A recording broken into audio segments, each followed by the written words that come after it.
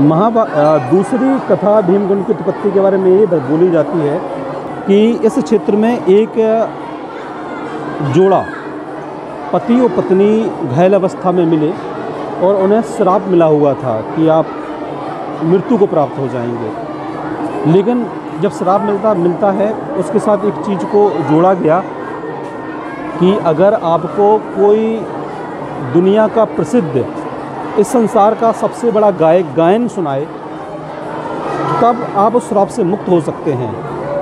वो करा रहे थे और बोला जाता है कि उनकी जो करुण वेदना थी, वो इतनी ज़्यादा थी कि उस बात को देख करके नारद मुनि जब यहाँ से गुजरे तो उन्होंने उनकी करुण वेदना को सुना और उन्होंने गाना गाया।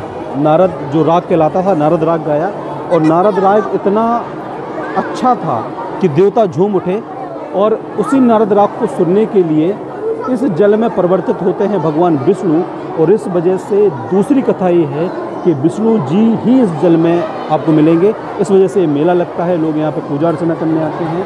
तो दूसरी कथा ये है कि नारद मुनि ने जो गायन करा, उसमें विष्णु जी इस जल में परिवर्तित हो गए। यहाँ से इस कुंड का निर्माण हुआ।